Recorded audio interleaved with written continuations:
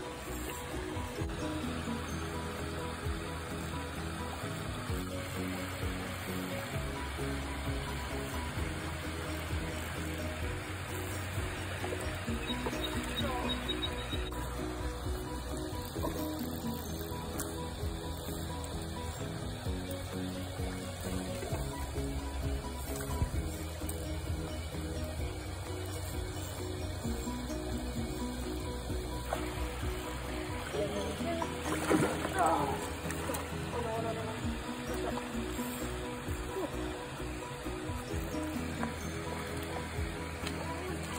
Yeah. Let's go.